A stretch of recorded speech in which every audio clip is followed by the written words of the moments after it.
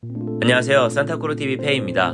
오늘은 2023년 가을에 놓치지 말아야 할 북한산 100군데 일출과 운해의 산행 가이드를 소개해드리겠습니다. 이번 영상에서는 첫 번째로 운해가 생성되는 조건을 알아보고 두 번째로는 북한산의 정상인 100군데 최단 코스를 소개해드리겠습니다.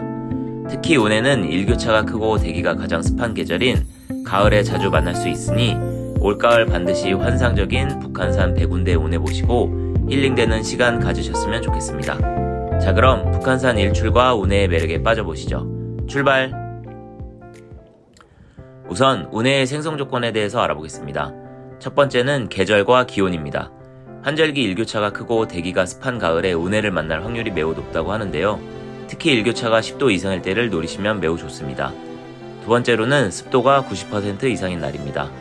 전날 비가 오후나 이른 저녁까지 오고 해가 진 후에 일조량이 부족해서 비가 온 습기가 대지에 갇혀서 머물게 되는 경우 다음날 새벽에 운해를 만날 확률이 매우 높습니다.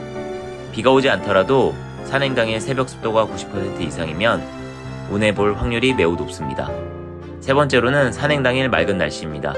전날 비가 왔거나 새벽 습도가 높다면 새벽 날씨는 반드시 맑은 날씨로 일출이 시작돼야 합니다. 이걸 흔히 역전층이라고도 하는데요. 고도가 높아질수록 기온이 낮아야 하는데 햇살로 인해 상층부 기온이 더 높아 구름이 아래로 깔리며 운해가 생성된다고 합니다. 네 번째로는 바람이 초속 1에서 2m 전후가 되어야 구름이 파도치듯 넘실넘실 보인다고 합니다. 마지막으로 기타 사항은 주변에 호수나 강등이 있고 산높이는 높을수록 운해 생성이 잘 된다고 합니다. 그래서 수도권에는 북한산이나 하남의 검단산, 남양주의 천마산 등이 일출과 운해의 명소가 되기도 합니다. 이상으로 운해가 잘 보이는 날의 조건을 소개해드렸습니다. 최종으로 정리하면 다음과 같습니다. 여러분 진짜 북한산 백운대에서 보는 운해는 환상적인 걸 뛰어넘어 황홀하고 신비롭습니다. 올가을 꼭 한번 모두들 보셨으면 좋겠습니다. 자 그럼 서울에서 가장 아름다운 일출과 운해를 볼 수 있는 북한산 백운대 최단 코스인 백운대 탐방 지원센터에서 백운대까지의 코스를 분석해 보겠습니다. 오늘의 코스는 북한산 정상인 백운대에 가기 위한 최단 코스인데요. 백운대 탐방지원센터에서 시작해 하루제를 지나 백운대 피소와 백운봉안문을 지나 정상인 백운대에 오른 후 일출과 운해를 보고 원점에게 하였습니다. 총거리 왕복 4.3km, 걸린 시간, 휴식 및 일출과 운해 촬영 시간 포함해서 총 3시간입니다. 자, 이곳은 백운대 탐방지원센터 앞이고요. 이렇게 주차 공간이 있습니다. 한 30여 대 정도 세울 수 있고요. 주말에는 좀 일찍 차니까 일찍 오셔야 됩니다. 자, 백운대 가는 길입니다. 야간 산행이나 새벽 산행하실 때 길이 미끄럽고 울퉁불퉁한 길이 많으니까요. 항상 등산화, 스틱, 헤드랜턴 등 필요한 장비 다 챙기셔서 다니시기 바랍니다. 그래야 안전한 산행을 하실 수 있습니다. 5시 3분 하루제입니다. 이렇게 쉼터가 있고요. 쭉 직진하면 배군데 이쪽으로 올라가면 영봉입니다. 자, 하루제를 지나서 백운대 가는 길에는 이렇게 내리막길이 있습니다. 이렇게 가파르진 않지만 그래도 내리막길이고 그리고 어둡고 길도 울퉁불퉁하니까 여기서 발목 조심히 내려가시기 바랍니다. 스틱 꼭 챙기셔서 안전하게 다니시기 바랍니다. 자, 지금 시간 5시 12분 백운대까지 1.2km 남았습니다. 여기에 화장실이 있습니다. 화장실 사용하시고 가세요. 화장실입니다. 자, 이 계단이 조금은 어렵습니다. 북한산은 국립공원이라 계단이 나름대로 정비는 잘 되어 있지만 새벽에는 잘 안 보이고 매우 미끄럽습니다. 잘못 뛰고 미끄러져서 넘어지시면 정말 큰 사고로 이어질 수 있습니다. 가끔 핸드폰 불빛에만 의존해서 새벽 산행하시는 분들 계시는데 반드시 헤드랜턴은 필수입니다. 아 보이시죠? 이 깔딱 구간을 올라왔습니다. 이 구간을 올라오면 동이 트는 풍경이 보입니다. 아 이 아름다운 여명이 정말 사람을 힐링시켜 줍니다. 자 5시 35분 백원산장입니다. 이렇게 위령비가 있고요. 여기도 역시 쉼터가 있습니다. 천천히 쉬엄쉬엄 가세요. 이제 500m 남았습니다. 백운 봉안문까지는 200m 남았는데 그 이후 300m가 굉장히 급경사고 이제 길이 험합니다. 그래서 꼭 장갑 착용하시고 올라가시기 바랍니다.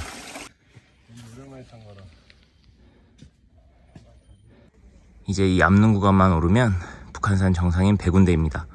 여기는 정말 반드시 이런 장갑 필수입니다. 오리바위입니다. 되도록이면 올라가지 않는 게 좋습니다. 굉장히 위험해요. 저기 만경대도 보이고요. 이제 서서히 해가 뜨려고 하는데요. 서서히 아래로 운해가 끼는 게 보이시죠? 이 구간부터 진짜 위험하니까 장갑 뭐 비싼 것도 필요 없습니다. 편의점에서 파는 2, 3천원짜리 사서 끼고 올라가시면 됩니다. 접지력만 좋은 장갑이면 됩니다. 자 올라가 보시죠. 아 정말 아름답죠? 이렇게 아름다운 풍경이 일주일간 받은 스트레스를 한 방에 날려줍니다. 인수봉도 이제 아주 선명하게 눈앞에 들어오죠. 자, 보시죠.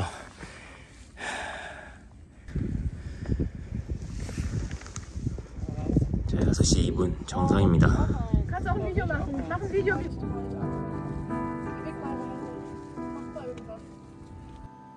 자, 이제 백운대 아래 자리를 잡고 일출과 운해를 감상하려고 합니다.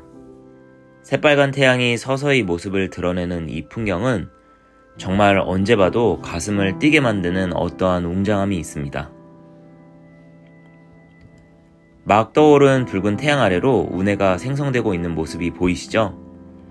영상 초반에 설명드린 것과 같이 뜨거운 햇살로 상층부 기온이 지금 더 높아지고 있고요. 그래서 습한 대기가 아래에 갇히면서 아래에 머물게 되면서 이렇게 운해가 생성되었습니다. 평일인데도 불구하고 정말 많은 분들이 가족분들이나 친구들과 함께 북한산에 올라와서 이 멋진 풍경을 즐기고 영상에 담고 있었습니다. 여러분도 이렇게 한번 영상에 담아보시기 바랍니다. 해가 더 올라올수록 정말 멋진 장관이 펼쳐집니다. 한 가지 주의할 사항은 북한산 백운대는 바람이 심해서 엄청 춥습니다. 바람막이 옷도 잘 챙겨 입으시고 핫팩이나 장갑 등을 챙겨 가시면 정말 따뜻하게 체온을 유지하면서 이런 멋진 풍경을 감상하실 수 있습니다. 영상을 찍으신 후에 빠르게 감으면 이렇게 운해가 파도 치듯이 넘실넘실 되는 영상도 만들 수 있습니다. 서울 시내가 구름 바다가 되었고 저 멀리 보이는 산은 섬처럼 보이는 현상입니다. 정말 아름다운 북한산 운해와 일출 산행이었습니다.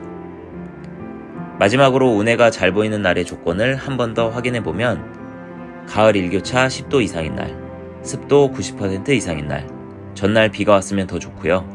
산행 당일 맑은 날씨, 바람은 초속 1에서 2m 정도. 여러분, 진짜 북한산 백운대에서 보는 운해는 환상적인 걸 뛰어넘어 황홀하고 신비롭습니다. 올가을 꼭 한번 보셨으면 좋겠습니다. 아, 여기 산행길이 정말 경사가 급하고 미끄럽고 위험하니까 조심히 내려가시기 바랍니다. 다시 한번 말씀드리지만 장갑은 필수.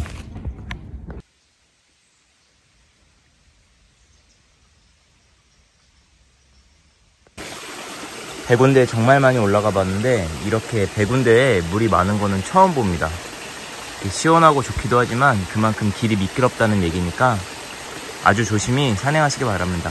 특히 하산할 때 정말 미끄럽습니다. 정말 조심히 하산하세요. 7시 반 하루제입니다.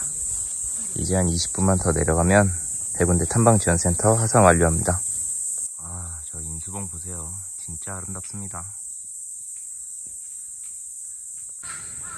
자, 7시 45분 하산을 완료했습니다. 4시 45분에 올라갔으니까 딱 정확히 왕복 3시간 걸렸습니다. 영상 즐겁게 보셨다면 구독과 좋아요, 알림 설정까지 부탁드립니다. 감사합니다. 안녕히 계세요.